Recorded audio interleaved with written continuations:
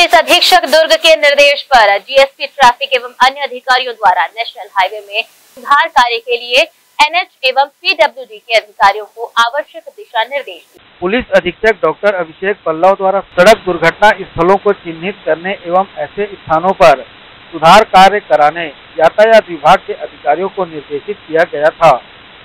निर्देश के परिपालन में डीएसपी ट्रैफ़िक सतीश ठाकुर के द्वारा राष्ट्रीय राजमार्ग तिरपन के ब्लैक स्पॉट हुआ ग्रे स्पॉट का स्थल निरीक्षण किया गया। निरीक्षण पश्चात नेशनल हाईवे और पीडब्ल्यूडी विभाग के अधिकारियों को गुरुद्वारा चौक पर लगे स्टॉपर के स्थान पर क्रैश बैरियर से गुरुद्वारा की ओर के मार्ग को बंद करने निर्देश दिया गया। नेशनल हाईवे में सड़क की मरम्मत एवं डामरीकरण सहित दुर्घटनाओं की रोकथाम को लेकर अन्य आवश्यक दिशा निर्देश डीएसपी ट्रैफ़िक द्वारा दिए गए। ग्रैंड एशियन न्यूज़ के लिए संजय दुबे।